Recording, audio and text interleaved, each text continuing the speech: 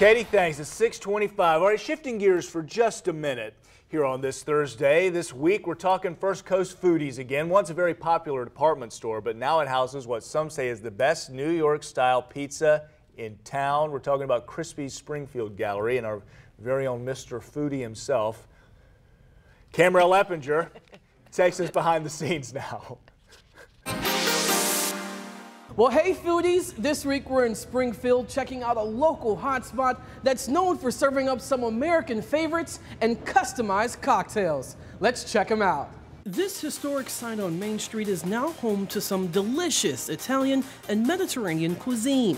It was originally built back in the 1930s as the Acro Brothers department store. But when you come to Crispy's, uh, I think you're gonna hopefully have a wow feeling when you walk in the door.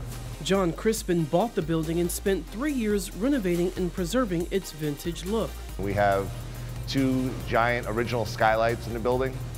We have uh, terrazzo floors throughout the building. Um, on the outside of the building, I tried to recreate the, uh, the original storefront as much as possible. I think I did a pretty good job. John is from Long Island, New York, and moved to the First Coast back in 1992.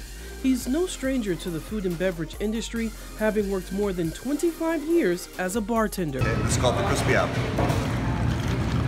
Which is why here at Crispy's, you can expect custom made cocktails along with his popular New York style specialty pizzas. Each pizza is named after local streets right here in Springfield. Here's a look at the Laurel Pizza. Uh, mozzarella, drunken figs, which are uh, our Chardonnay uh, marinated figs that, that we put on the pizza with uh, arugula and prosciutto.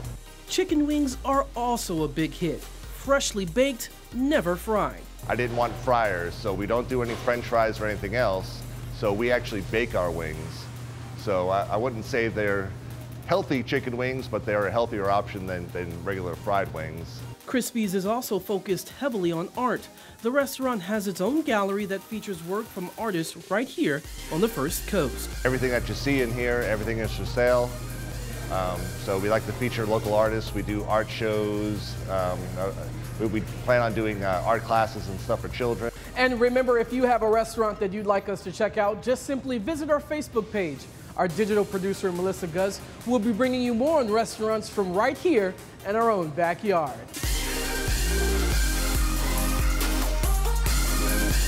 All right.